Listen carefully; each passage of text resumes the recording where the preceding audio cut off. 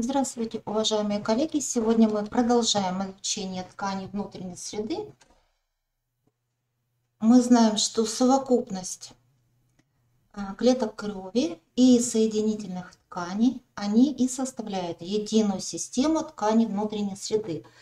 И в совокупности обеспечивают постоянство внутренней среды организма, то есть гомеостаз. Мы знаем, что ткань состоит из клеток и межклеточного вещества, и ткани внутренней среды имеют общие э, свойства. То есть они содержат э, в составе клеток клетки, выполняющие функционально ведущие свойства, то есть секрецию всех компонентов межклеточного вещества. Э, кроме этого, они содержат ткани производные клеток, то есть не клеточные и постклеточные структуры. И э, в составе межклеточного вещества а, выделяются э, основное вещество и волокнистый компонент у собственно соединительных тканей, состав которых может отличаться в зависимости от локализации. Они имеют также общее эмбриональное происхождение, то есть развивается из мезенхима. Мезенхима образована рыхло расположенными, отрещатыми, малодифференцированными клетками и студневидным межклеточным веществом. Она заполняет пространство между закладками органа эмбриона и образуется путем выселения клеток из мезодермального эмбрионального зачатка, называется энтомезенхима, и нейроэктодермального, называется эктомезенхима. А, дальнейшая дифференцировка клеток мезенхима зависит от ее микроокружения. Наряду с формированием клеток крови и соединительных тканей предмет э, которого мы сейчас изучаем, мезенхима, является источником развития гладкой мышечной ткани и сосудистого эндотелия. На э, этой микрофотографии вы видите, что клетки малодифференцированные, так как объем ядра и цитоплазмы сдвинут в сторону ядра. Э, ядро имеет светлую окраску, круглую форму и отмечается большое количество тонких отростов, которые э, образуют такой ложный синцитий. Классификация тканей внутренней среды. Мы с вами рассматривали э, кровь, форменные элементы, а также гемопоэз. Вот совокупность клеток гемопоэтического диферона, то есть из красного костного мозга, а, а также тимуса образуют миелоидную ткань и лимфоидную ткань. Собственно, соединительные ткани – это волокнистые соединительные ткани, которые делятся в свою очередь на рыхлую и плотную а плотная на неоформленную и оформленную. Также выделяют группы тканей со специальными свойствами. Это слизистая ткань, ретикулярная и жировая, которая подразделя... подразделяется на белую и бурую. К опорным соединительных тканям, которым э, преобладают механические функции, относятся хрящевые ткани – подразделяющийся на гиалиновую, эластическую, волокнистую хрящевую ткань. И костные ткани, которые в зависимости от этапа развития подразделяются на грубоволокнистую, и потом в большей степени она преобразуется в пластинчатую. А также отдельная группа э, ткани зуба – это дентин и цемент. Здесь важно отметить общие базовые функции, которые относятся ко всем тканям внутренней среды в большей или меньшей э, степени. Первая функция – это биомеханическая, то есть образование и поддержание в течение всей жизни организма скелета, то есть каркаса организма. Также соединительные ткани образуют строму многих внутренних органов. стрёма, то есть это вспомогательная ткань, выполняющая структурную э, функцию, трофическую, э, разграничительную и предоставляющая э, основу для работы паренхимы, то есть функционально ведущей ткани. Вторая функция пластическая означает регенерация. Мы с вами рассматривали два способа физиологической регенерации для клеток и говорили, что если клетка способна делиться метозом и делится, то это клеточная регенерация. В том случае, если параллельно или только за счет обновления органелл происходит физиологическая регенерация, то это внутриклеточная регенерация. На тканевом уровне это проявляется в виде метозов отдельных популяций клеток или их обновления и или их обновления органелл клеток в течение всей своей жизни. Также мы приводили примеры клеток, которые, а, для которых единственный способ физиологической регенерации – это внутриклеточное, то есть обновление органелл, клетки в G0 периоде, нейроциты, кардиомиоциты. То есть к классической мы отнесем ликвидация дефектов ткани, которые вызываются повреждающими факторами, то есть травма, инфекция, интоксикация, нарушение кровообращения. Защитная функция э, наиболее обширная, включает несколько видов защит. То есть это первое, фагоцитарная активность клеток. Из клеток крови мы говорили, что Э, специализируются на функции фагоцитоза бактерий нейтрофилы и моноциты макрофаги. Второе – это иммунологическая защита организма от чужеродных белков. Сюда входят все иммуноциты э, ткани, э, то есть те клетки, которые участвуют в каскадных защитных иммунных реакциях, то есть специализированные клетки на этой функции. Сюда относятся моноциты макрофаги, выполняющие функцию антиген представляющих клеток, Б лимфоциты, дифференцирующиеся в плазмоциты, которые секретируют антитела или иммуноглобулины, и Т-киллеры, которые э, выполняют функцию э, кислород-зависимого киллинга, то есть реализуют клеточный иммунитет, а также 80% иммуноцитов – это все остальные лимфоциты. А, третья защитная функция заключается в защитном действии специальным образом э, структурно организованным межклеточным веществом, его волокнистым компонентом и основным или аморфным веществом. Четвертая функция, трофическая или метаболическая, она обеспечивает обменные и регуляторные процессы во всех тканях и органах. Здесь мы можем говорить о э, регуляции проницаемости межклеточного вещества.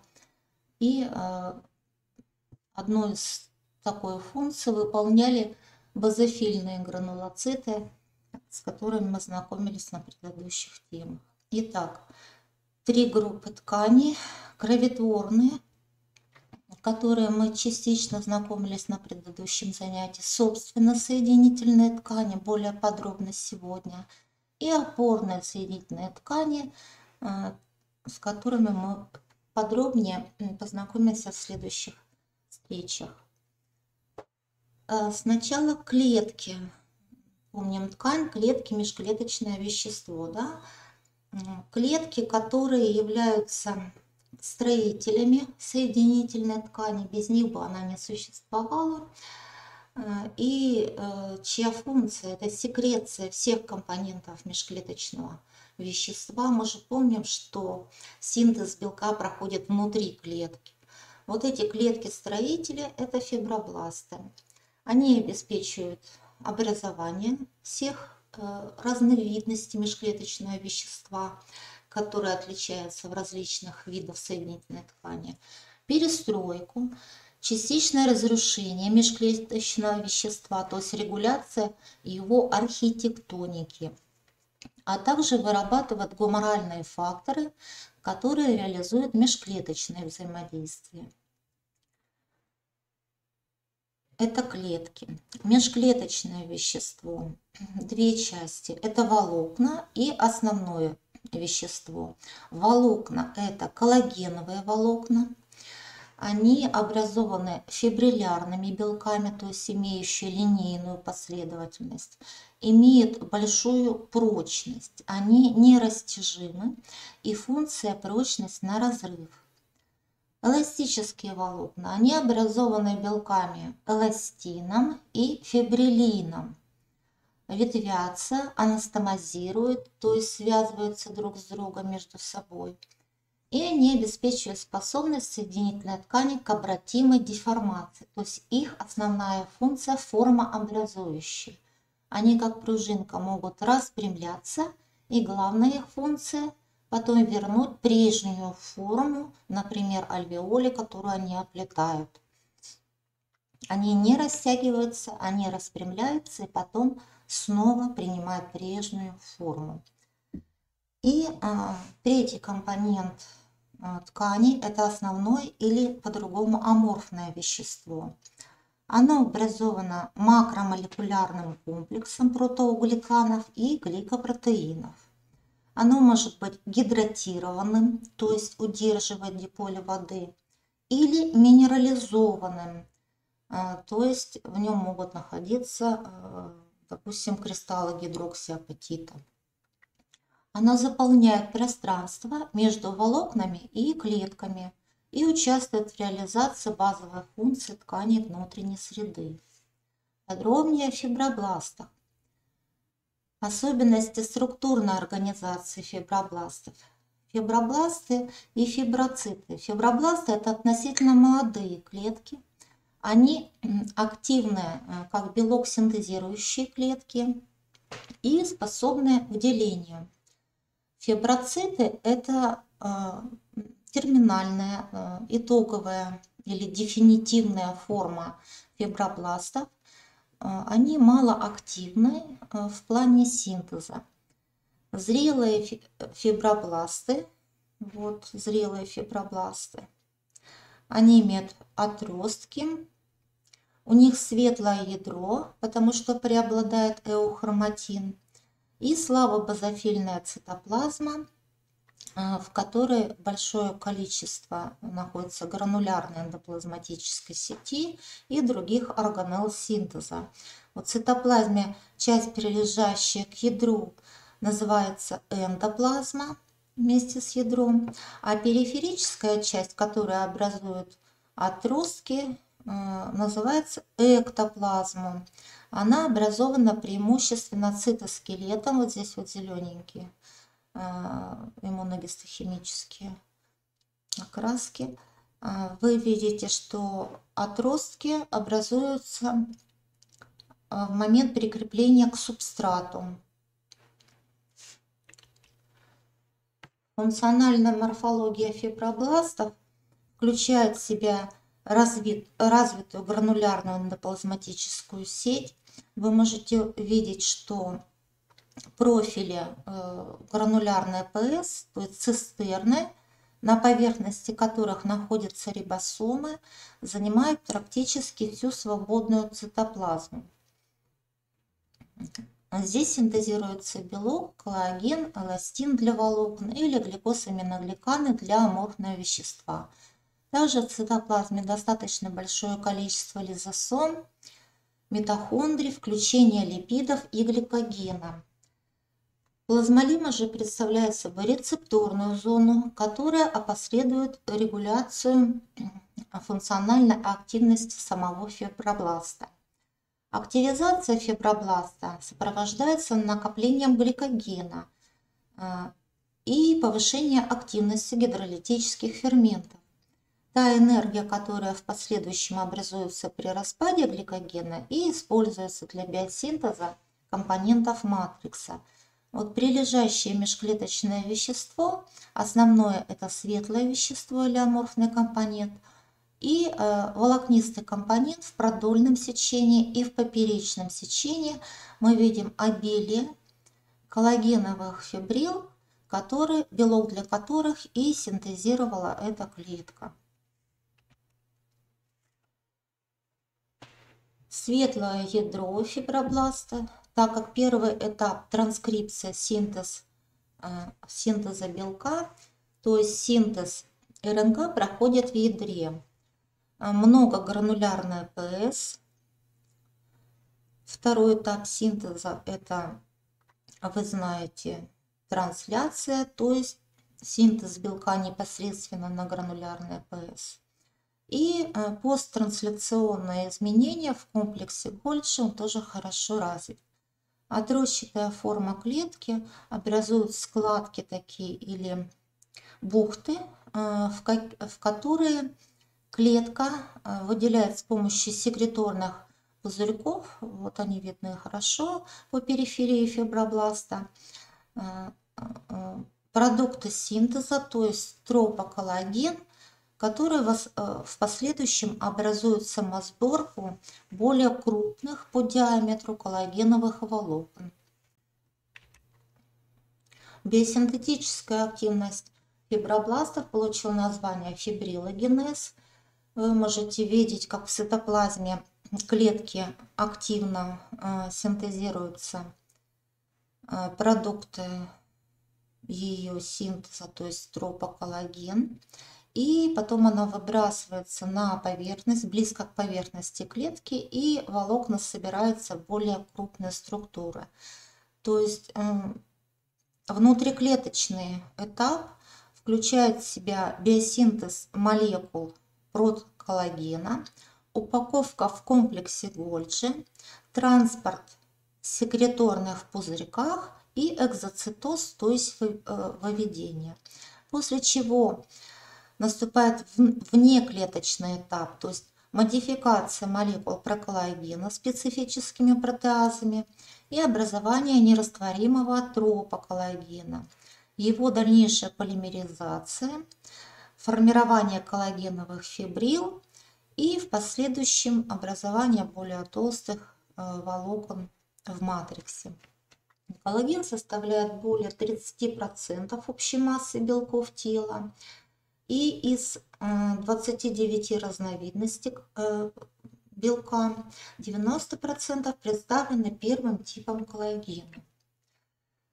Сравнивая два вида волокон, то есть коллагеновые и эластические, мы можем сказать, что в обоих случаях присутствуют четыре уровня организации волокна. Внутриклеточный происходит э, внутри клетки фибробласта, он называется молекулярный последующем а, во внеклеточном матриксе а, реализуется надмолекулярный уровень организации, то есть формирование молекулы тропа коллагена, фибриллярный, создание фибрилы коллагена путем самосборки и после агрегации фибрил волоконный. Также показано на этой схеме отличие эластических волокон они, э, в отличие от коллагена, представляют не пучок фибрил коллагена, а внутри э, центральная часть содержит аморфный компонент, а по периферии этого стержня э, находится лжеволокнистый. Пример локализации эластического волокна – это аорта, эластический каркас, вот он извилистый, поддержание формы сосуда после э, выброса крови он растягивается, а потом он э, распрямляется, расширяется, а потом он должен принять прежнюю форму.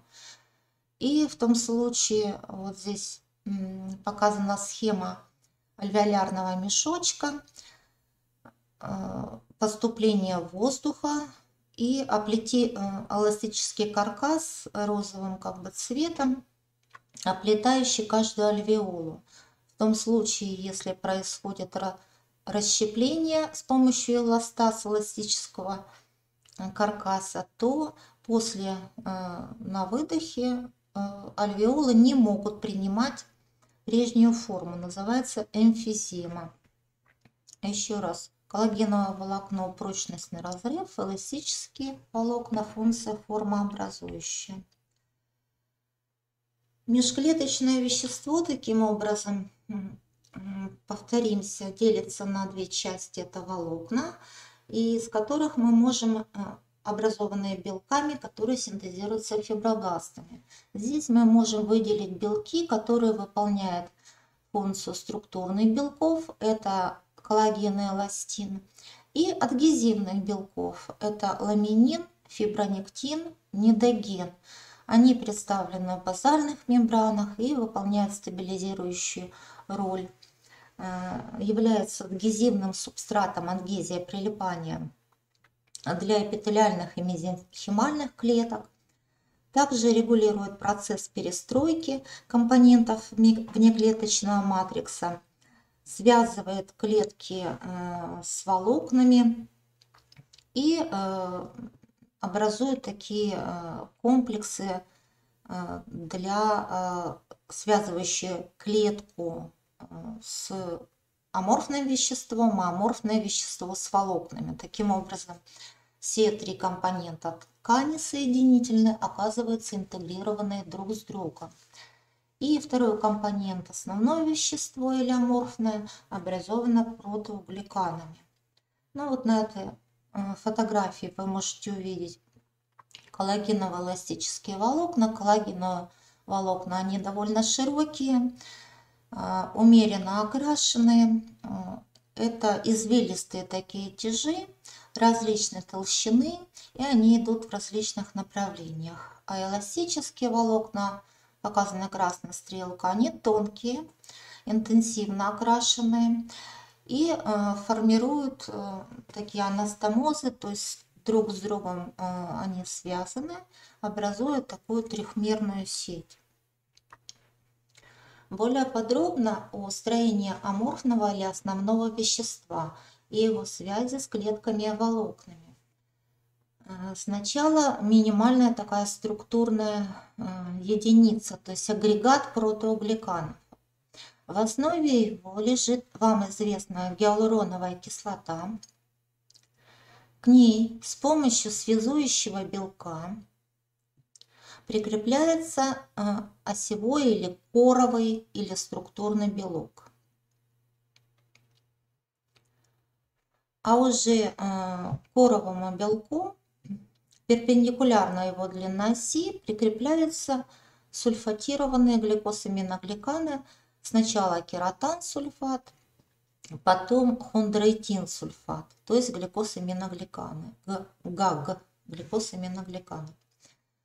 Они э, заряжены отрицательно, и вы видите, что к ним присоединяется диполь воды. Таким образом, вокруг гликозаминогликанов формируется э, гидрофильная оболочка.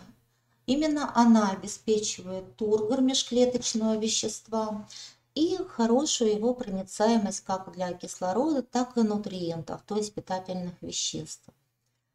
Таким образом, клетки фибробластического дифферона, которые хорошо работают э, и секретируют э, достаточное количество белков и протеогликанов, они получают хорошее питание, так как обменные процессы очень высоки.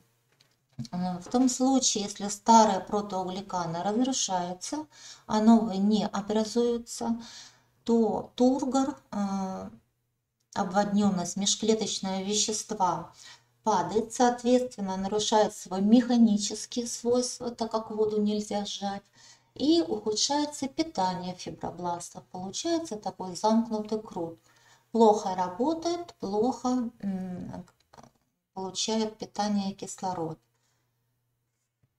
Теперь э, волокна, вот гликосаминогликаны, вот они, как щеточки, они связаны с волокнами. Э, в частности, вот гиалуроновая кислота связана с коллагеном. И э, таким образом формируется как бы такой комплекс. Теперь как это интегрируется с клетками. Вот глико, гликосаминогликаны плюс волокна, вот они. И э, к ним присоединяется с помощью адгезивных белков, о которых мы говорили, белки адгезия, не структурные, как коллаген, эластин, адгезионные, да, ламинин и фибронектин.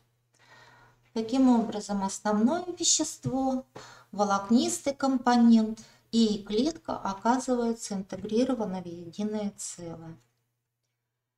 Какие э, клетки фибробластически составляют фибробластический ряд, то есть его дифферон, и их происхождение и регенерация. Дифферон фибробластического ряда включает основные ключевые компоненты. Первое – это мезенхимальная стромальная стволовая клетка. Костный мозг содержит гемопоэтические компоненты, о котором мы говорили, гемопоэз, да, миелоидная ткань, и э, стромальные, образованные различными э, клетками э,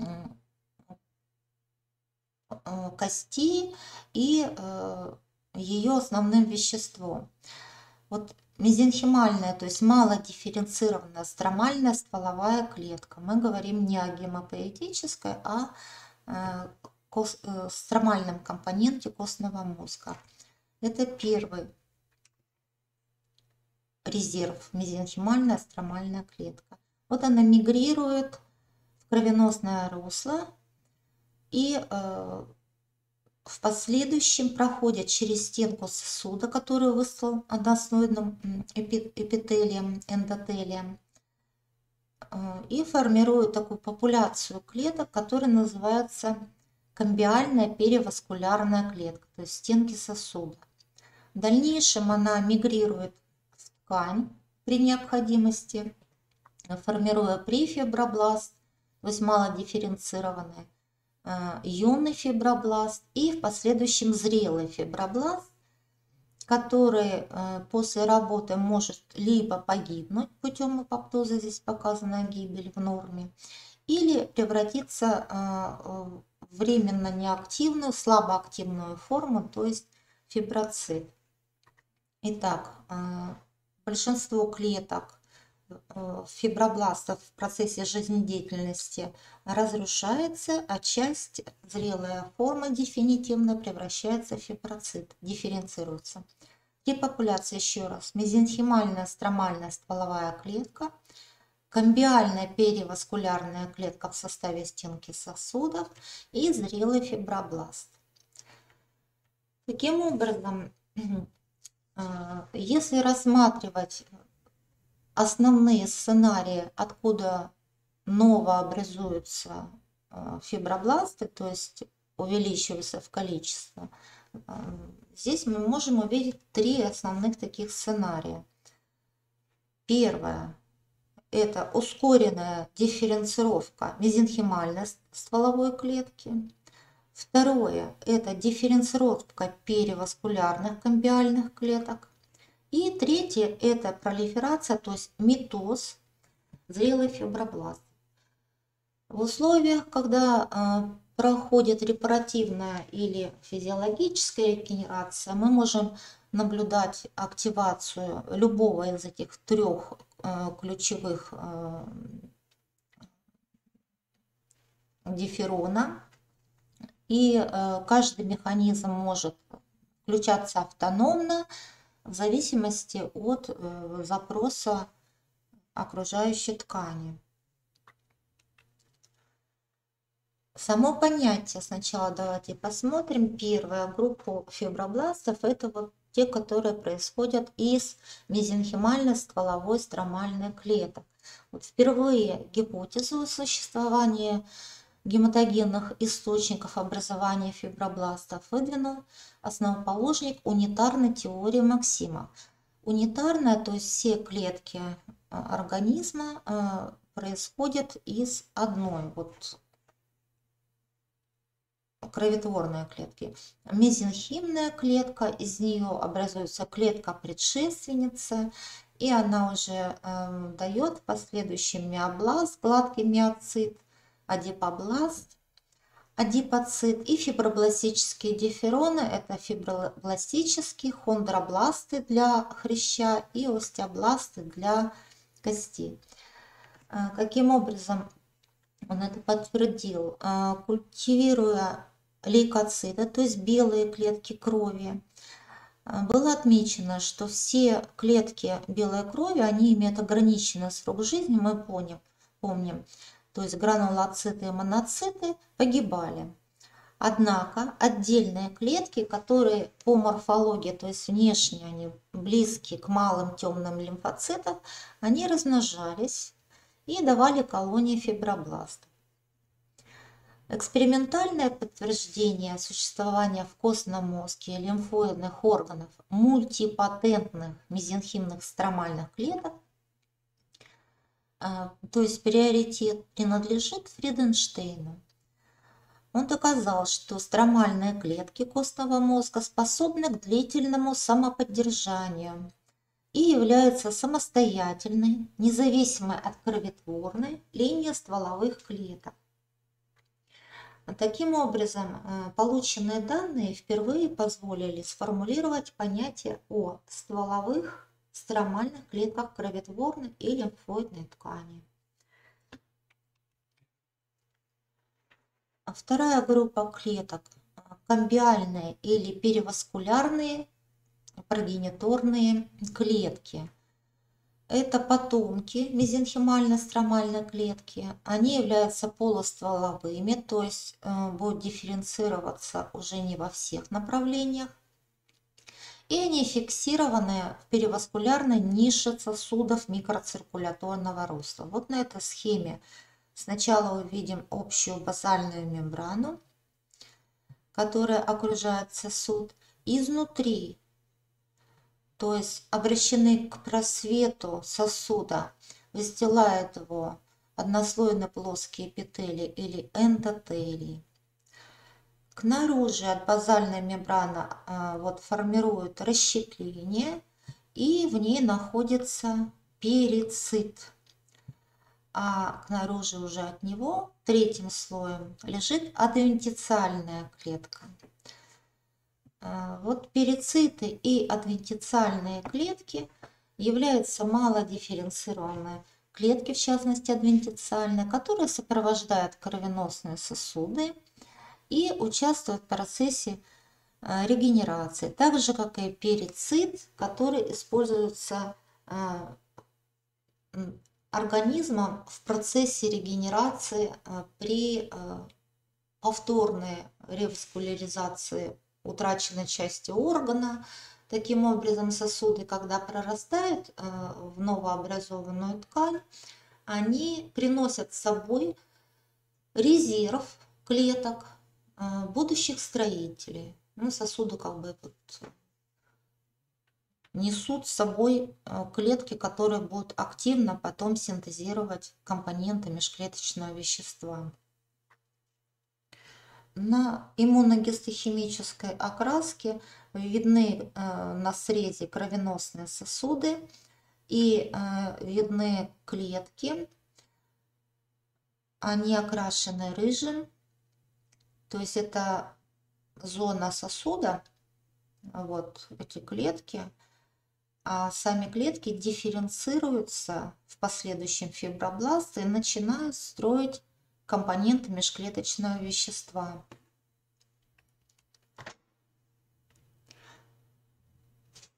Третья группа, э, мы говорили, это зрелые фибробласты и они способны к метозу, таким образом э, поддерживая популяцию фибробластов, увеличивая при необходимости в количестве. Э, вот э, при люминесценции видны метозы фибробластов, то есть они сохраняют способность пролиферации. Вот здесь уже стадия телофазы. Э, на этой картинке виден дефект между группами фибробластов. И это последующая картинка, когда благодаря активным метозам дефект полностью замещен. В 1961 году Хифлик установил, что фибробласты в культуре способны удваивать популяции только ограниченное количество раз, то есть не более 50, после чего погибают. Феномен генетически запрограммированного ограничения количества клеточных делений соматических клеток получил название лимит Хейфлика и связан с тем, что отсутствует теломеразная активность в клетках, а после каждого деления плечи хромосом укорачиваются. Таким образом, рассматривая э, два пути э, регенерация после повреждения и в норме, то есть срочная спасительная операция нужна, мож, можно выделить э, два основных пути.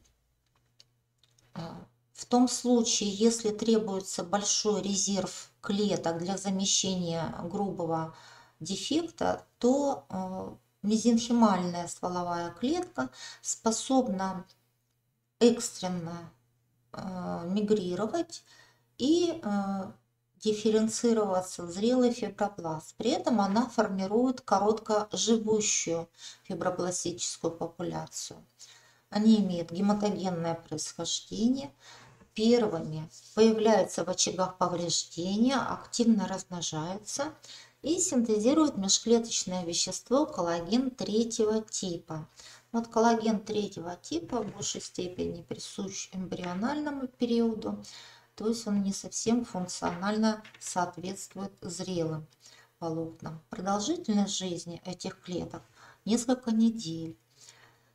Долгоживущие э, фибробласты, они развиваются не из мезенхимальной, а в основном из э, популяции комбиальных переваскулярных клеток. Они синтезируют коллаген первого типа и продолжительность их жизни несколько месяцев. А, выполняет также опорно-трофическую функцию и в последующем их неторопливая, но более такая основательная популяция, она замещает э, короткоживущих э, такой резерв э, фибробластов уже на более поздних этапах регенерации. Характерные вот э, компоненты популяции зрелых фибробластов таким образом состоят из нескольких видов клеток. Зрелый фибробласт, мы описывали его строение, имеет хорошо развитую гранулярную ПС э, и дефинитивная форма фиброцит с потерей способности к пролиферации более слабым синтетическим аппаратом. Также зрелый фибробласт может дифференцироваться в зависимости от запроса окружающих тканей в фиброкласт и в миофибробласт. Фиброкласт, они содержат большое количество лизосом, в частности матриксные металлопротеиназы, которые способны разрушать белки матрикса. И это является сигналом высвобождения металлопротеиназ для других клеток ткани э, и э, стимулом для перестройки э, генотипа этих клеток в сторону более активно методически делящихся популяций. Ну, вот, например, при повреждении тканей печени высвобождаются из строма металлопротеиназы. В результате высвобождаются факторы, которые заставляют гепатоциты перестроиться и активно методически делиться, замещая поврежденную паренхиму. Таким образом, фиброкласты участвуют в перестройке и инволюции соединительной ткани, то есть обратного развития а, для того, чтобы в последующем зрелые фибробласты построили на этом месте соединительную ткань, которая будет отвечать современным требованиям. Миофибробласт. А, вот по названию вот видно, что мио предполагает наличие сократительных белков в цитоплазме, и они занимают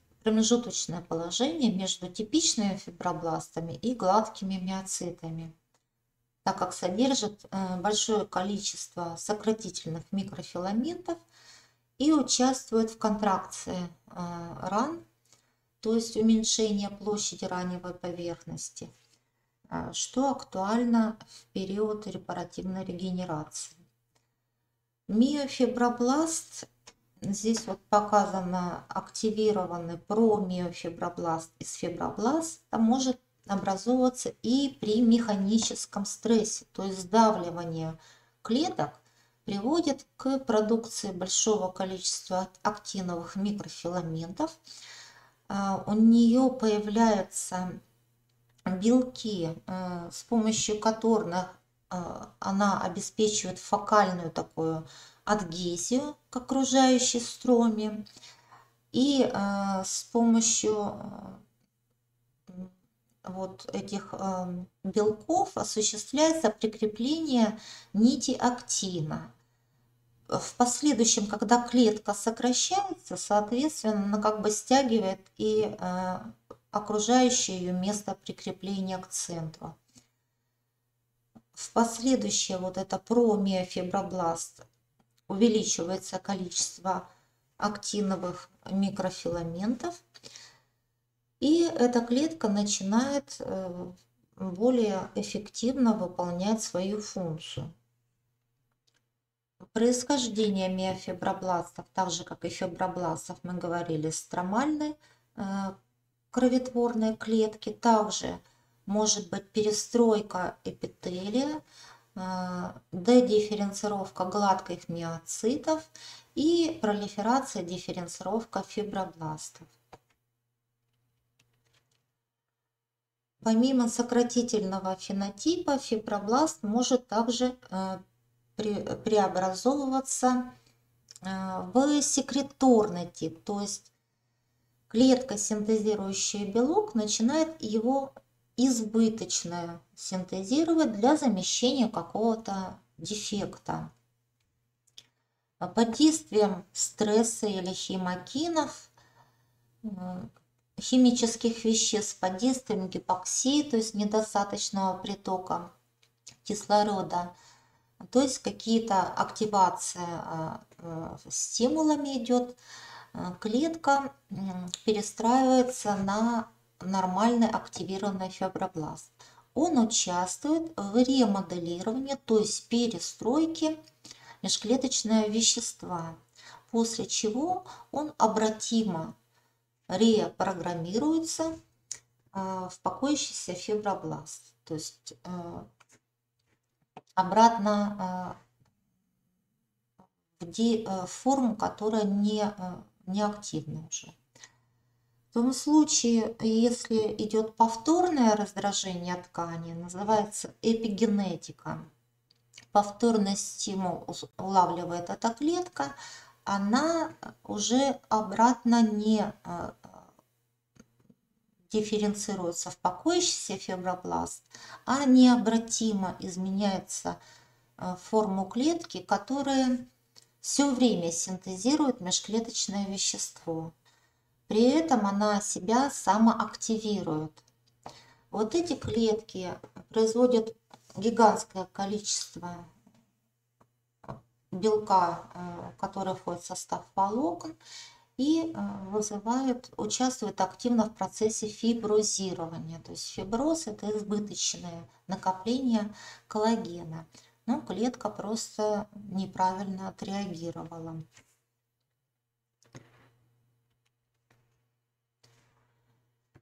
Фибробласты хрящевых и костных тканей, то есть хондробласты и остеобласты, они сохраняют общую структурную организацию, то есть для любой белок синтезирующей клетки хорошо э, преобладание эохроматина, э, хорошо развита гранулярная э, эндоплазматической сети и комплекс Гольджи, но имеет выраженные особенности строения и биосинтетического профиля.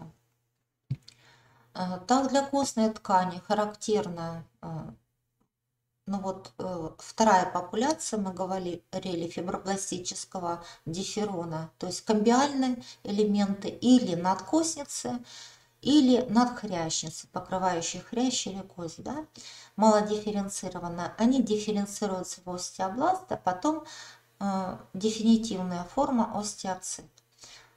Активность, синтетически активна клетка остеобласт. Вы видите, что она имеет э, овальную форму, э, большое количество гранулярной АПС, митохондрий и комплекс Гольджи возле ядра.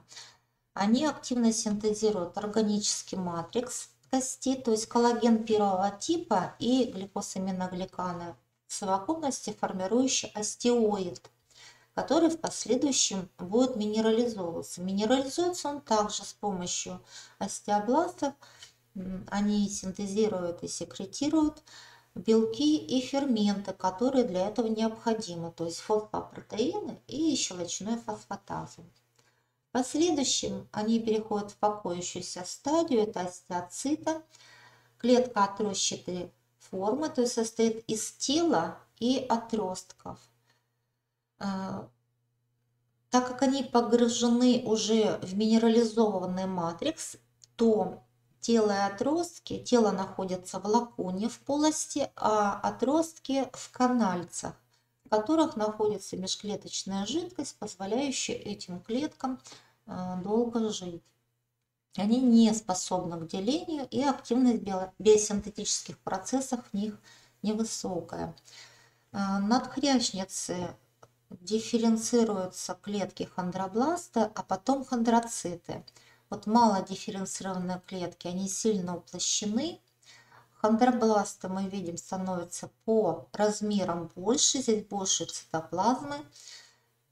А, и э, здесь активная форма в плане синтеза белка – это хондроциты.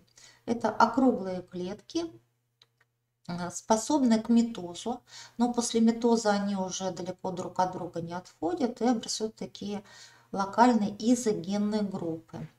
Они секретируют коллаген второго типа и эластин, а также специфическое, то есть э, имеющееся только в хрящевой ткани аморфное вещество, это сульфатированные гликосаминогликаны и протеогликаны, хондроитин, серная кислота, например. Хондроциты третьего типа теряют способность к делению и э, сохраняют достаточно высокую активность специфических биосинтезов. Более подробно о строении костной хрящевой ткани мы поговорим в следующий раз. Мы говорили о биомеханической функции, о регенераторной функции, то есть пластической функции ткани внутренней среды. Третья функция, обозначенная нами, это защитная функция, которая подразделяется на несколько таких э, важных разделов. Мы вспомним про фагоцитарную активность клеток, один из видов защиты. Э, знаете, что моноциты, которые мигрируют по кровеносным сосудам, переходят в ткань, они дифференцируются в макрофаге. Существует такое понятие, как система мононуклеарных фагоцитов, к которым относятся э, все макрофаги организма. Макрофаги – это долгоживущие клетки, они могут э, жить 40-60 дней, даже больше. Здесь показано гемопоэтический дифферон, то есть из гемопоэтической стволовой кроветворной клетки вот моноциты образовались – и они в тканях дифференцировались в макрофаги. Виды макрофагов в зависимости от локализации в организме называются по-разному. Например, клетки микроглия э, в нервной ткани, мезонгиальные клетки почек, костной ткани остеокласты, соединительные гистиоциты, печени купферовские клетки. Также есть в дыхательной системе альвеолярные, плевральные, перитониальные, гигантские клетки народных тел. Также есть макрофаги лимфоузла, селезенки, миндалины, тимуса. Основная функция макрофагов – это фагоцитоз бактерий. Вот визуально, морфологически а, макрофаги могут от, отличаться. Вот клетка микроглеи ветвистая, например, или макрофаги красного костного мозга. Здесь макрофаг является основой для островка кроветворения. Или остеокласт, вот он распластанный, имеет э, гофрированную каемку. Гистеоцит отрощатой формы. Клетка Купфера, которая находится э, э, в данном случае в перемещении внутрь синусоидного капилляра. Гигантская клетка инородных тел, когда макрофаги, они вообще в местах воспаления способны к объединению и формируют такую многоклеточную структуру. Значит, функция макрофага, мы говорили, это фагоцитоз бактерий. Кроме того, еще две важные функции. Это секреторная, то есть секреция лизоцима, интерферона и пирогена. Вещества, которые участвуют э, в бактерицид, э, бактерицидный эффект, повышающий температуру и э, запускающий процесс э, защитных реакций. Кроме того, регуляторная функция, то есть эти клетки модулируют процесс воспаления, усиливая его или э, уменьшая. И важнейшая функция – это участие в специфических иммунных реакциях, как антиген, представляющая клетка. Малоактивные формы э, макрофагов, они имеют более мелкие размеры, э, уплощенные, с темным ядром и слабым развитием органелл. А активные блуждающие гистиоциты, вот они имеют большое количество отростков, так называемых червевидных, и э, лизосомы на всех стадиях, то есть первичные, вторичные, остаточные тельца – они могут переходить из активной снова в неактивную форму. Вот на этой э, скрине с видео видно, что макрофаги уничтожают, то есть фагоцитируют старые эритроциты. Более подробно о важной функции макрофага как клетки иммунной системы. Это примерная схема, как выглядит антигенная презентация с помощью макрофага. Есть клетки макрофаги, которые специализированы на этой функции. Например, дендритные клетки лимфатических узлов селезенки. Здесь важно отметить, что в зависимости от того, какой имеет природу антиген, их подразделяют на эндогенные антигены и экзогенные. То есть эндогенные – это собственные видоизмененные, например, клетки а, организма под действием вируса. А, а экзогенный антиген – любой другой а, чужеродный, какой, который попал извне. Соответственно, различается и антигенная презентация. То есть этот антиген нужно соответственным образом обработать и передать следующим иммунокомпетентным клеткам. Как это происходит? Антигенная презентация не означает фагоцитоз и с последующим перевариванием, а, то есть внутриклеточным пищеварением. А, вот антиген, а, поглощенный клеткой, он проходит процессинг, то есть его разрезают на части, так называемые вот фрагменты эти части или эпитопы. В случае, если это антиген МХС вот, первого класса эндогенный, то он проходит в гранулярную ЭПС через специальные ворота, так белки, вот эти эпитопы, где под них э, синтезируется специальный белок главный комплекс гистосовместимости первого класса соединяется с ним, идет в комплекс Гольджи и выставляется на плазмолему комплекс. белка МHC первого класса плюс эпитоп, то есть антигенная детерминанта, кусочек антигена. Вот на такую собственную видоизмененную клетку, атакованную вирусом, будет реагировать Т-киллер, обеспечивающий э, противовирусную защиту, или если это измененная опухолевая клетка, она тоже такой комплекс может построить. И на нее э, отреагирует также Т-киллер или натуральные киллеры, обеспечивающие противоопухолевый иммунитет.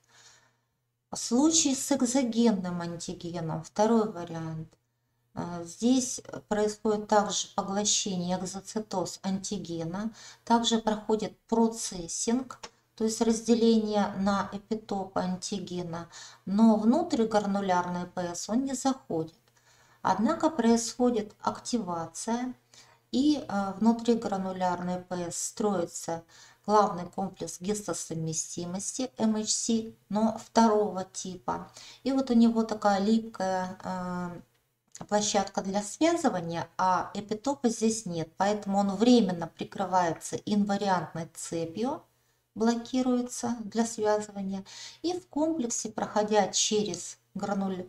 Э, комплекс Гольджи, э, поступает непосредственно к эндосоме, где происходит слияние с эпитопом МХС первого класса, а инвариантная цепь от него э, отделяется.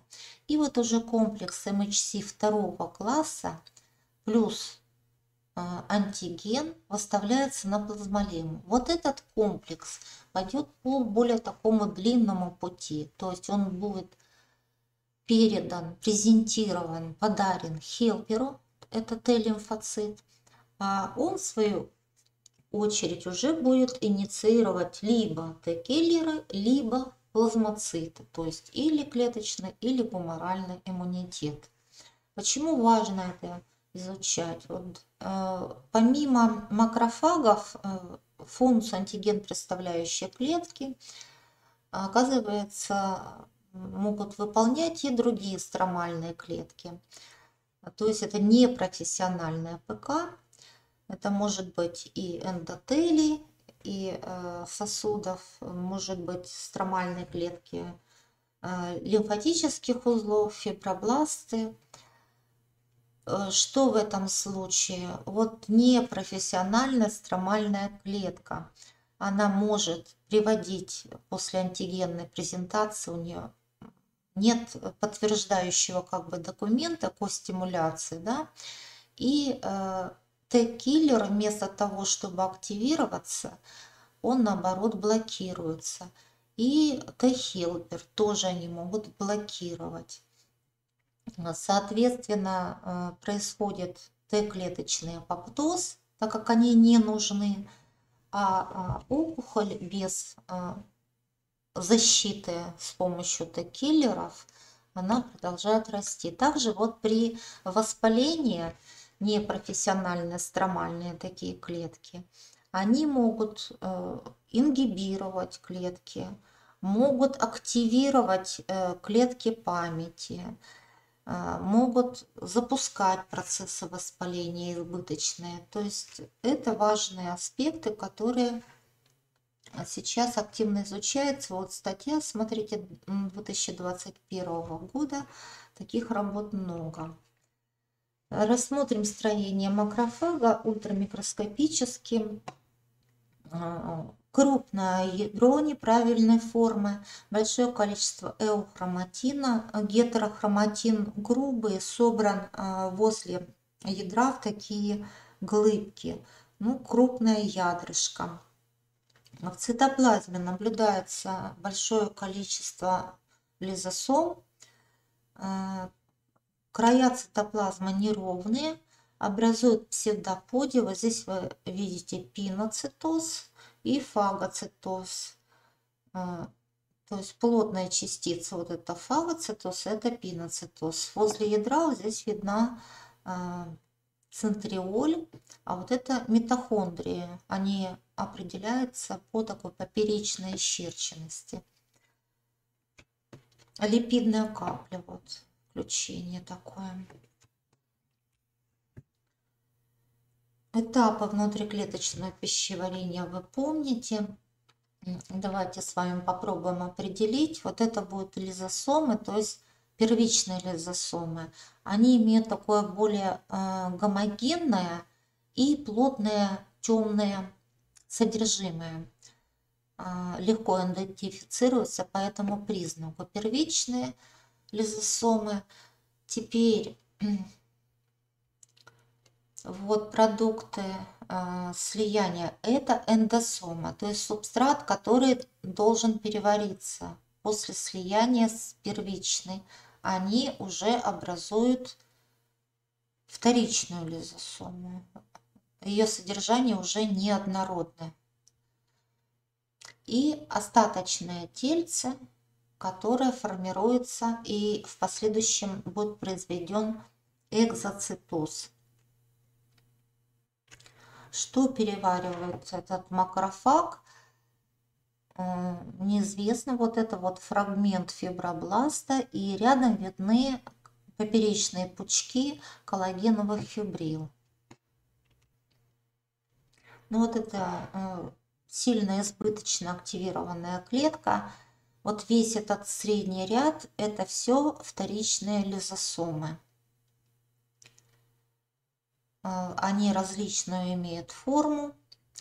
А ближе к ядру вот здесь расположены вот это остаточные тельца. И вот остаточное тельце.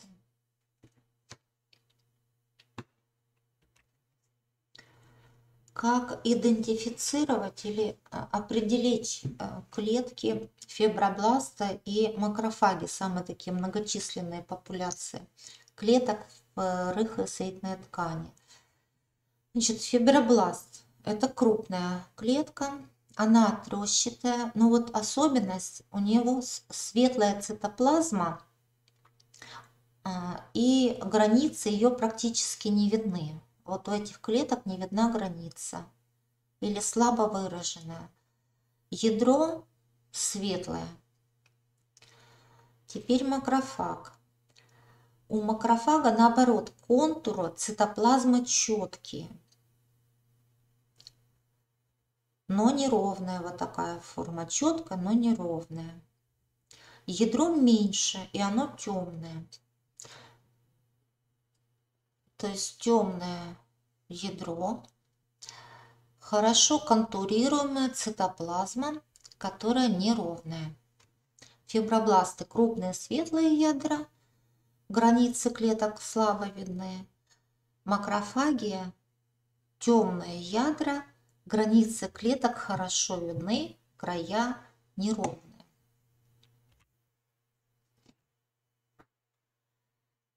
Защитная функция фагоцитоза, мы говорили, также соединительной ткани принадлежит нейтрофилам, которые специализируются на фагоцитозе бактерий, поэтому их Мечников назвал микрофагоцитами. И так как свою защитную функцию они выполняют, мигрируя из крови через стенки сосуда, называется диапедез, э, в соединительной ткани, то это гематогенные клетки гематогенного диферона, которые присутствуют, особенно увеличится количество их при воспалении. Мы говорили уже вот про э, строение нейтрофила, сегментоядерным в данном случае, хорошо видны сегменты, и э, рассматривали подробно диапедез, то есть прохождение нейтрофила через стенку сосуда в ткань. Также рассматривали три вида фагоцитоза с помощью рецепторов к, допустим, им, иммуноглобулину класса G, который является апсонином для определения и быстрого поглощения. То есть рецепторно опосредованный эндоцитоз лежит в основе узнавания нейтрофилами бактерий и запуска фагоцитарной реакции. Вот здесь вот видна бактерия, которая оказалась поглощенная нейтрофилов, большое количество лизосомальных ферментов здесь специфической зернистости видно.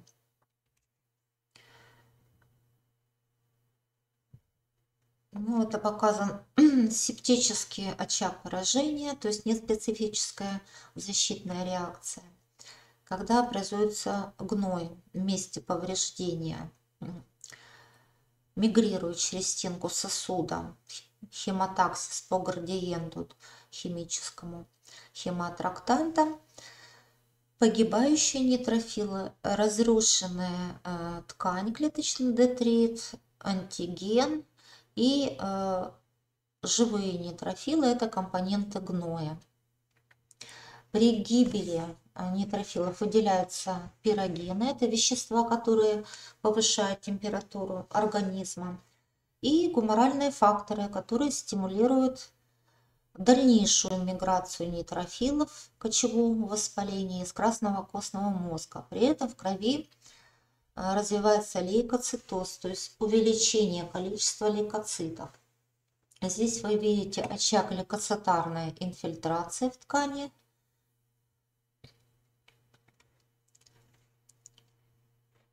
Но вот после работы нейтрофилов возможно очищение а, раны от бактерии.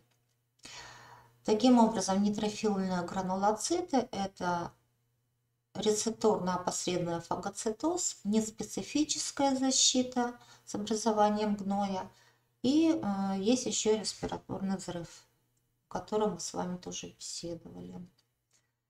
И еще клетка мигрант из крови в ткань – это лимфоциты, в частности Б-лимфоцит, который дифференцируется в плазмоцит – а, и а, является он эффекторной клеткой гуморального иммунитета, секретирует 5 классов иммуноглобулинов или антител. Идентифицировать эту клетку очень просто. Она имеет овальную форму, ядро округлое, расположено эксцентрично, то есть сдвинуто периферии. Гетерохроматин в ядре располагается в виде э, спиц колеса, то есть широким основанием прилежит к кориолеме, а узкие верхушки направлены к центру. В цитоплазме преобладает гранулярная ПС и комплекс больше, который находится возле ядра. При окраске клетка приобретает базофильную такой базофильный цвет, а не окрашенный из-за гранулярной ППС, много рибосом. А неокрашенным остается участок возле ядра, который носит название клеточный дворик. Здесь мы видим актив, активно секретирующие моноглобулины плазмоцит. Здесь расширенные цистерны гранулярная ПС – и образование больших таких скоплений секреторного продукта.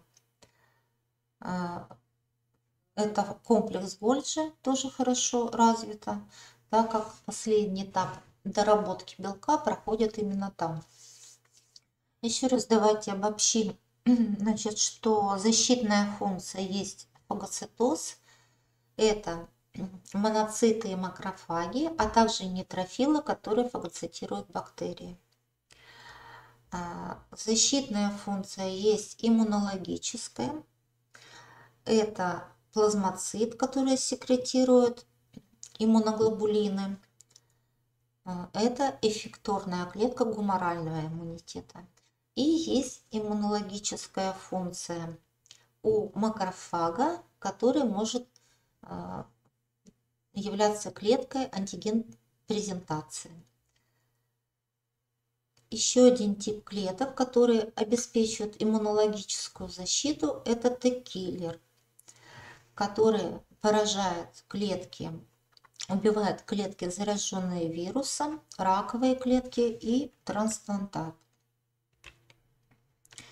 Э, важность э, знаний э, о процессах и связи, они неоспоримы. Вот, допустим, а, работа 21 тоже года свежая. Посмотрите, мы знаем, как образуются плазмоциты. То есть гемопоэз мы с вами а, рассматривали. Вот клетка образуется, которая секретирует иммуноглобулины. После антигенной стимуляции, то есть после того, как она встретилась с антигеном, она приобрела способность синтезировать иммуноглобулин, который будет как ключ-замок связываться с определенным видом антигена. Вот эту информацию, какое строение имеет антиген, она приносит, например, в лимфатический узел или э, в самом лимфатическом узле дендритная клетка, то есть макрофаг, показывает ей этот антиген. После чего эти клетки начинают методически делиться, то есть из одной получается много, клон. И в итоге образуются клетки, которые все способны к синтезу иммуноглобулина с именно такими центрами связывания, которые помогут найти определенный вид антигена. При этом а, они могут запоминать этот антиген. Это долгоживущие клетки памяти. Но в последующем, когда повторная встреча будет с этим антигеном, эти клетки Б памяти очень быстро образуют новую семью, новый клон – тех клеток, которые опознают этот антиген и будут с ним бороться. И вот короткоживущие клетки, они быстро реагирующие и э, длительно они не существуют. Что происходит э, при нарушении, почему важно знать, при нарушении вот, правильной цепочки опознания антигена и почему это э, такое может быть. Например, на клинике будете изучать патогенез неалкогольной жировой болезни печени. То есть вот он связан с ожирением. Здесь развиваются в жировой ткани процессы воспаления и э, большое количество свободных жирных кислот попадает э, в кровь, э, адипокины, они захватываются клетками печени, клетками кишечника, развивается процесс воспаления, перекисное окисление липидов усиливается, то есть активные формы кислорода, они еще больше повреждают гепатоциты, и клетка погибает. Вот этот клеточный детрит, он захватывается антиген представляющими клетками и отдается э, хелперам. И вот эти хелперы, они уже знакомы первый раз а, знакомы в последующем, они считают собственную клетку как бы источником антигена. Называется аутореактивные Т-хелперы. Они активируют Б-лимфоциты. А, в лимфоузлах размножается большое количество лимфоцитов, Б-лимфоцитов – которые приобретают возможность синтезировать иммуноглобулины, вот плазматические клетки, которые познают собственные клетки печени как чужие. Но э, эту же информацию хранит э, Б клетки памяти, поэтому даже если эти плазмоциты, секретирующие иммуноглобулины к собственным клеткам, погибнут, то есть клетки памяти, которые возобновлят эту популяцию клеток. Вот этот порочный круг является целью для терапии и позволяет вылечить это заболевание. Значит, мы говорили о плазмоцитах как клетках гуморального иммунитета, которые насыщают иммуноглобулином жидкую среду, то есть кровь, лимфу. И э, говорили о текелерах, у которого три мишени – и а, он обеспечивает клеточный иммунитет а, с помощью а, перфоринов и гранзинов. Вот это вот иммунологический синапс Т-киллера с клеткой, которую он убивает. Здесь образуется большое количество, выбрасывается клеткой белков перфоринов, которые формируют ворота из белков, перфорации в мембране. Через эти перфорации э, вводятся внутрь клетки гранзимы. Вот это цитотоксические гранулы гранзимы, которые в свою очередь активируют э, процесс апоптоза клетки. Ну, э, способы гибели клетки, они различны, потому что гранзимы отличаются и может задействован быть через семейство каспас или митохондрии. А вот э, это уже более тонкие процессы, вам еще предстоит их учить. Мы только начинаем. Давайте еще раз обобщим знания, которые мы сейчас и на предыдущей лекции получили. Значит, защитная функция иммунологическая – это участие клеток в специфических защитных реакциях иммунитета. Иммунитет есть клеточный и гуморальный. Он имеет четыре основные звена. Первое звено – это антиген, представляющая клетка. Второе звено – это регуляторное. Третье звено – это эффекторное. Четвертое – это клетки памяти. Антиген, представляющая клетка – макрофаг. В зависимости от того, это свой антиген, перестроенная клетка, например, под действием вируса или опухолевого, или экзогенный антиген – синтезируют MHC первого класса или MHC второго класса. MHC первого класса презентируется непосредственно T-киллером, кластер дифференцировки которого CD8+. MHC второго класса презентируется T-хелпером, кластер дифференцировки которого CD4+. T-хелперы могут активировать в последующем клеточное звено, то есть Т-киллеров, это популяция ТХ1, или дифференцировку Б-лимфоцитов в плазмоцит, то есть эффекторное звено гуморального иммунитета, и он уже будет секретировать иммуноглобулины.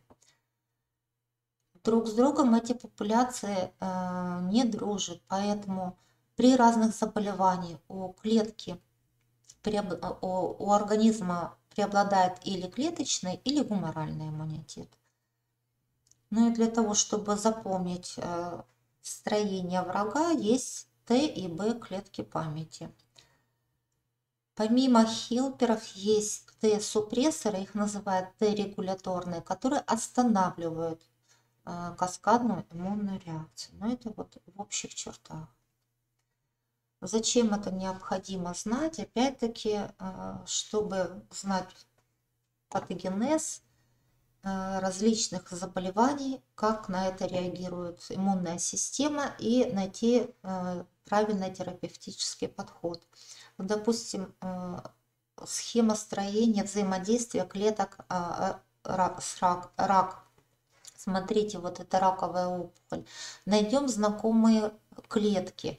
Первое – это дендритные клетки, то есть макрофаги, антиген представляющие клетки. Кого они активируют? Первое – клеточное звено. Вот, цитотоксические Т-клетки сразу, да, э, они убивают Т-киллеры. И вот они активируют через Т-хелперов те же цитотоксические клетки по длинному такому звену а также через Т-хелперов дифференцировку Б-лимфоцитов в плазмоциты. Ну и здесь мы можем найти, конечно, а, Т-супрессоров, которые блокируют это звено, и клетки, которые живут в опухоли. А, данная работа как раз была им посвящена. И эти клетки, которые живут вместе с опухолью, это такие а, предатели, они блокируют и хелперов, и цитотоксические клетки, и даже натуральные киллеры, которые обеспечивают противоопухолевый иммунитет. Или, допустим, вот э, патогенез демиелинизации. Начальное это звено, это повреждение эндотелия, после чего э, э, гематоэнцефалического барьера капилляра эндотелия повреждается. После стимуляции цитокинов идет активация плазмоцитов и активация цитотоксических клеток, которые воспринимают собственный миелин как э, чужеродный и устраивают на него атаку. Вы видите, что очень много этапов, много клеток, которые участвуют э, в опосредовании развертывания иммунных реакций. И э, зная эти этапы, можно после клинической оценки. Она э, включает в себя большое количество этапов, которые определяют конкретно, что с пациентом, и включает в себя много очень э, обследований, позволяет точно определить и правильно назначить лечение. Итак, ткани внутренней среды мы рассмотрели защитную функцию, фагоцитарная активность, то есть макрофаг и нейтрофилы, клеток строителей, фибробласты, клеток, участвующие в иммунных реакциях, то есть лимфоциты, Т-киллеры, плазмоциты, а также макрофаги, как клетки АПК, и еще один э, блок защитной функции – это защитное действие межклеточного вещества. Защитное действие межклеточного вещества определяет устойчивость организма и органов к механическим воздействиям. То есть это волокна плотной соединительной ткани, фиброзные капсулы, а также бактерицидными и протективными свойствами аморфные вещества из гликосаминогликанов. Четвертая функция – это трофическая или метаболическая функция ткани внутренней среды. Э, здесь мы можем говорить о тканевых базофилах, то есть о тучных клетках, которые развиваются из гемопоэтической стволовой клетки и составляют до 10% рыхлой соединительной ткани. Они расположены вдоль сосудов, имеют неправильную форму, то есть разнообразное компактное ядро и многочисленные базофильные гранулы в цитоплазме. Они похожи на базофильные гранулоциты, но в отличие от них имеют другое происхождение и отличаются по сроку жизни. Синтезируют они гепарин, гистамин, серотонин, простагландины и целый ряд биологически активных веществ, которые влияют на проницаемость стенки сосуда, снижают свертываемость крови и увеличивают скорость местного кровотока. Функции э, тучных клеток в зависимости от интенсивности дегрануляции. Дегрануляция, то есть это экзоцитоз гранул под влиянием специфических э, э, стимулов это гуморальная регуляция метаболических процессов, размножение и дифференцировки других клеток соединительной ткани на уровне своего микрорегиона, то есть паракринная регуляция. Ну, допустим, если клетки какие-то активно делятся, то для улучшения обмена э, веществ, для притока кислорода нутриентов небольшое количество гранул, э, если дегранулировано, увеличивается отек, обводнение межклеточного вещества под их действием и, соответственно, улучшается обеспечение делящейся ткани. А, конечно, если много выделится э, веществ при дегрануляции, тогда это будет развитие аллергических реакций. Здесь вот э, видны гранулы в большом количестве. Они также вот могут маскировать ядро они разнообразной формы и размеров, окраска интенсивная разная. По а, форме, по содержимому гранул. Это могут быть плотные, а, крупнозернистые, мелкозернистые, пластинчатые, со свитками, смешанные.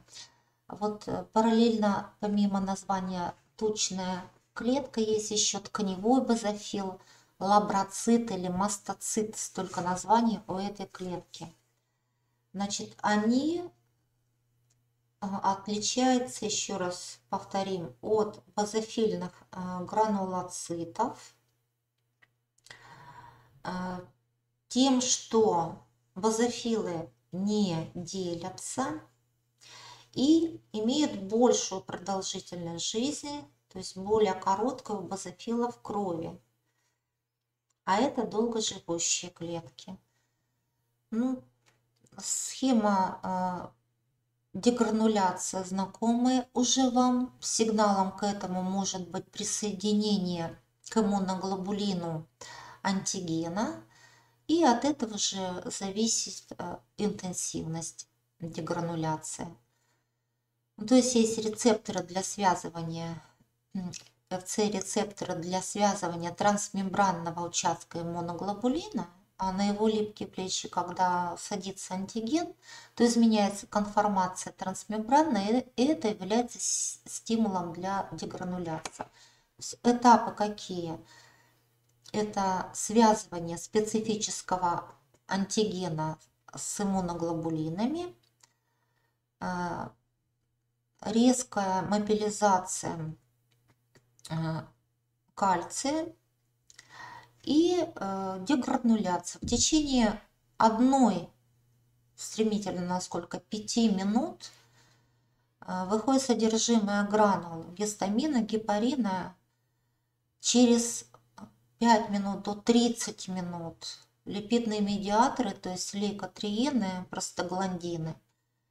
И э, в течение часа провоспалительные цитокины – Соответственно, может сокращаться бронхи, э, отек, да, гиперчувствительность немедленного типа, увеличиваться секреция слизи и усиливаться процессы аллергии, анафилактического шока развития и воспаления. Вот в точной клетке на электронной микрофотографии вы видите, что э, вся цитоплазма заполнена гранулами, которые отличаются по плотности. Э, те гранулы, которые мелкие и темные, это неактивные или созревающие. Перед выделением содержимое гранул – оно становится более светлое такое, то есть как бы набухают. И вот это вот уже в стадии дегрануляции гранула вы видите. А, в некоторых случаях происходит слияние гранул и выделение их а, массированно. Вот это комплексы такие набухших, более плотных гранул экзоцитозом из клетки выделяются. Из-за этого поверхность клетки, она как будто бы покрыта такими глубокими складками.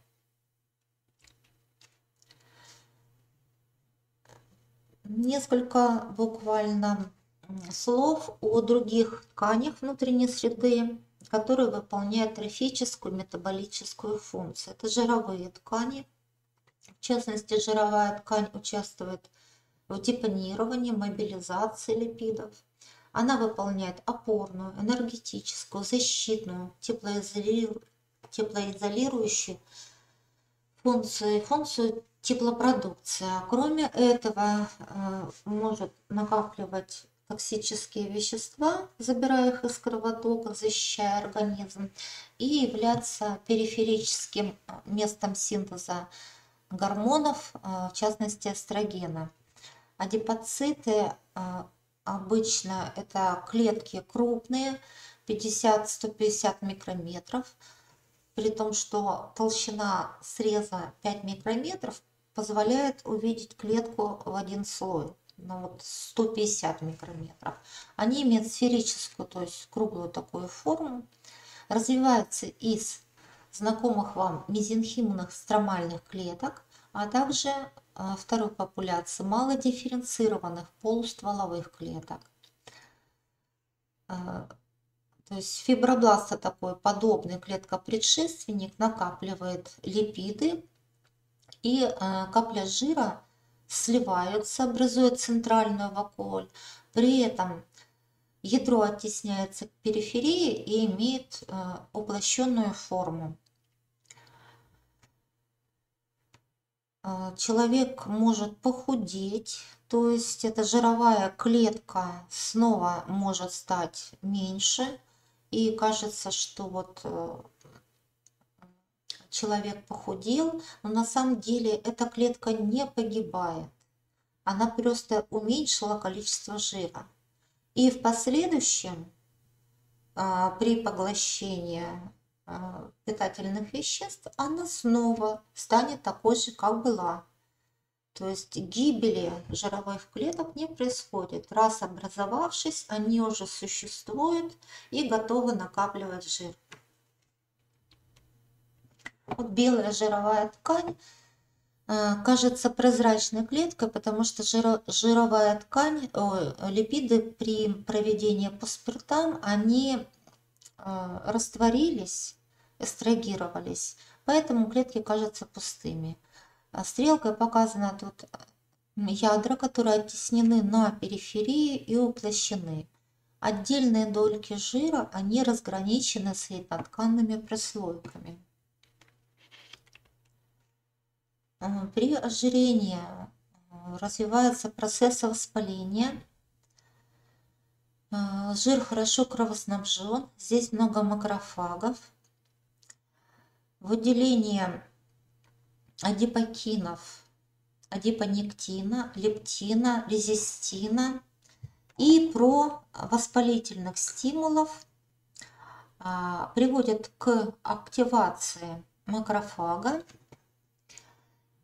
и дальнейшей гипертрофии адипоцитов.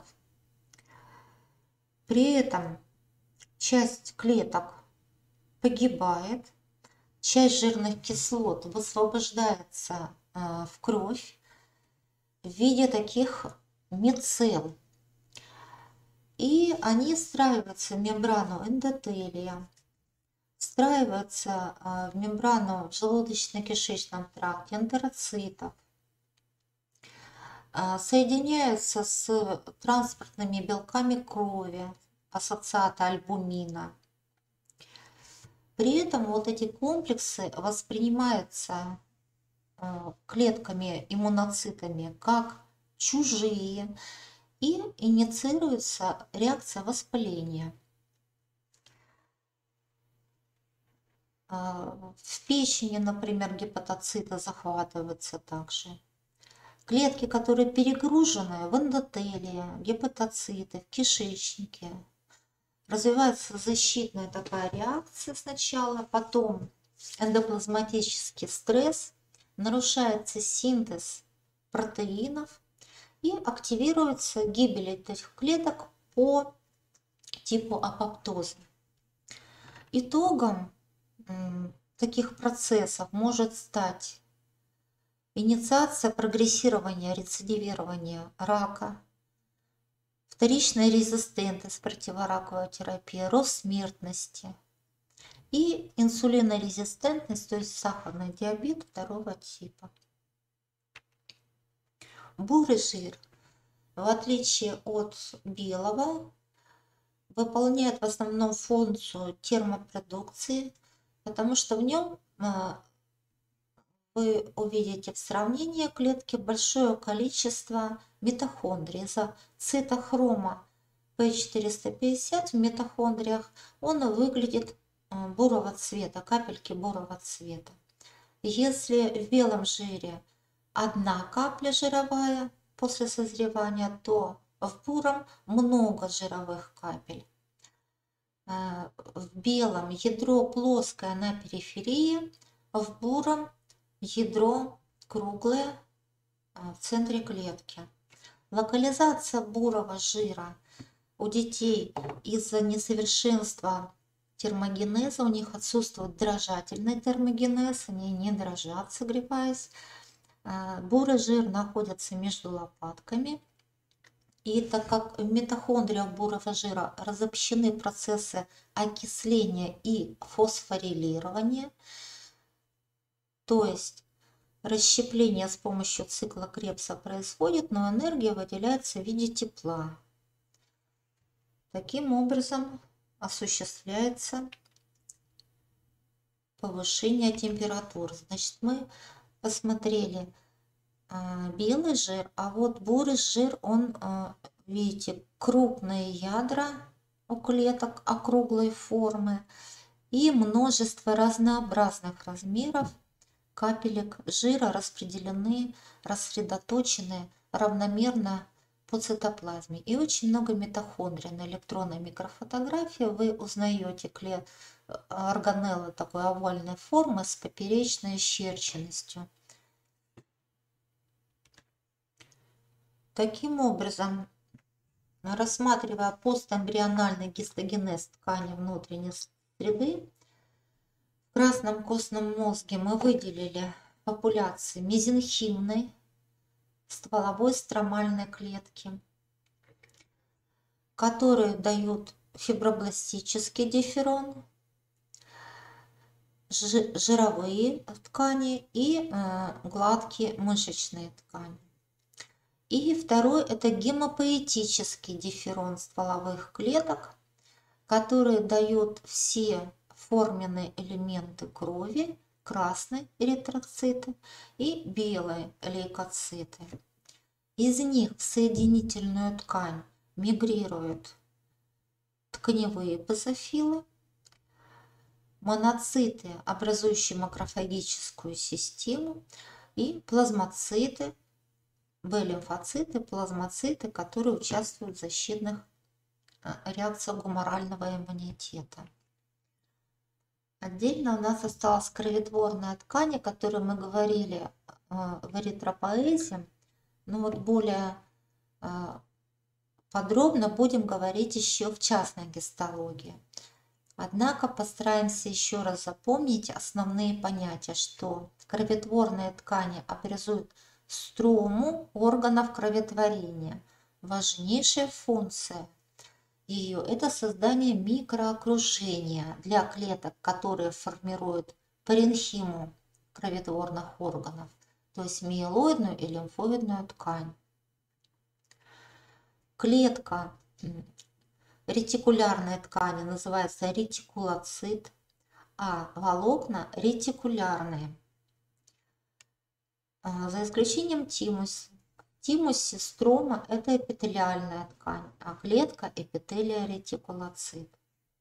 Лимфоидная ткань, э, она является паренхимой для всех органов кроветворения, кроме красного костного мозга, где паренхима образована миелоидной тканью. То есть мы выучили с вами, что миелоидная ткань это совокупность пяти видов гемопоэтических клеток. Незрелые, зрелые эритроциты, гранулоциты, моноциты, тромбоциты и наивные Б-лимфоциты. Но вот на этой фотографии окрашена она по-разному первом случае гематоксилены 1, во втором это импрегнация солями азотно-кислого серебра.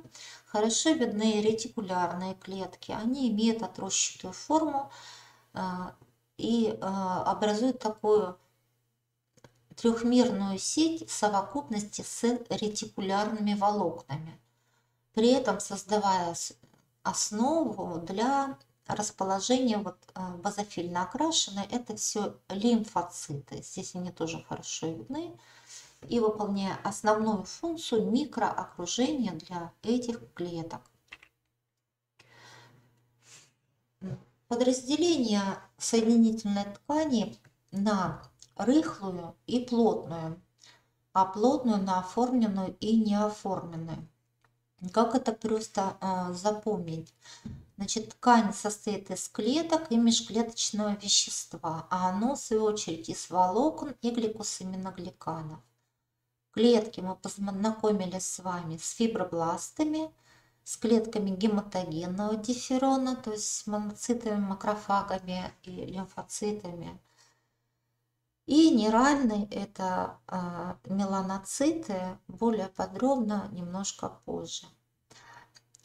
Теперь, э, если мы говорим о плотной соединительной ткани, мы говорим о том, что в ней будут преобладать волокна, для обеспечения прочности. В том случае, если это оформленная ткань, это означает, что волокна будут лежать параллельно друг другу. В том случае, если это не оформленная ткань, то волокна будут образовывать трехмерную сеть, то есть не упорядоченно лежат, но волокна будет много.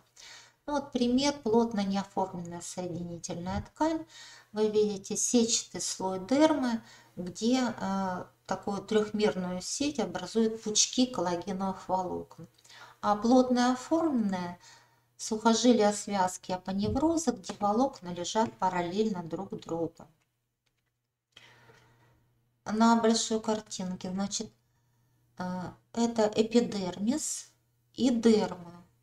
Дерма э, кожи делится на сосочковый слой, он в виде сосочков – вдается в эпидермис между эпидермальными гребешками, он образован рыхлой неоформленной цветной тканью. А сетчатый слой дермы образован плотной неоформленной соединительной тканью. Также здесь видны вот это вдавление эпителия образует волосяные фолликулы и корни волоса видны. Железистые эпители образуют концевые отделы сальных желез. Они впадают в волосяную луковицу. Отдельно, самостоятельно лежат извитые, трубчатые э, концевые отделы потовых желез. Вот их выводные протоки самостоятельно выходят на поверхность. Здесь также хорошо видны жировые клетки, образующие дольки в виде такой сеточки. Плотная оформленная цветная ткань. Вот пучки коллагеновых волокон в продольном сечении, между которыми зажаты клетки фиброциты, которые принимали участие в синтезе коллагена для этих волокон и тоненькие прослойки соединительной ткани. На поперечном сечении тоже видны. В этих тонких прослойках находятся соединительные ткани кровеносные сосуды. А ядра фиброцитов или тендиоцитов, они имеют такую трехугольную как бы а, форму с отросточками и разделяют отдельные коллагеновые волокна. как называется, вот сухожильные клетки, тендиоциты, вот они крыловидные такие, они отделяют друг от друга коллагеновые волокна. Одно коллагеновое волокно называется пучок первого порядка. Вот пучок первого порядка, еще один. И разделены они тендиоцитами. Совокупность некоторая совокупность пучков первого порядка. Вот возьмем вот здесь хорошо видно, да? Один пучок первого порядка, второй, третий, их много. Они образуют пучок второго порядка. Вот один, это будет второй. И они разделены э, друг от друга с помощью эндотенония. Итак, пучки первого порядка – это коллагеновые волокна, они разделены тендиоцитами. Совокупность пучков первого порядка – это пучок второго порядка, они разделены эндотеноне. Все вместе – это пучок третьего порядка, и оно покрыто перитенонием. В крупных сухожилиях возможно образование пучков четвертого порядка, и тогда они покрыты эпитенонием. На электронной микрофотографии видно поперечное сечение, а, еще такая вот тендиоцит. Видно, что цитоплазмы мало в этой клетке, длинные отростки ее разграничивает поперечное сечение коллагеновых волокон, которое и создавала эта клетка. Напомню, что коллаген не растягивается, это прочность на разрыв. Поэтому, когда мы говорим растянул сухожилие, всегда речь идет о частичном разрыве. Ну и слизистая ткань. Мы рассматривали в курсе эмбриологии строения пуповины. Отличается большим количеством а, гликосаминогликанов сульфатированные, которые обладают гидрофильностью, что позволяет вот этому веществу. Вартонов студень обеспечивать механическую защиту кровеносных сосудов плода от сжатия при перекручивании, э, изгибании пуповины. Какие именно а, факторы способствуют активной работе фибробластов пуповины для того, чтобы они синтезировали все время новые гликосаминогликаны? Ну, это витамины, конечно, витамин А, витамин С, которые усиливают белок синтетическую активность клеток, и э, женский половой гормон эстроген. Спасибо за внимание. До свидания, до новых встреч.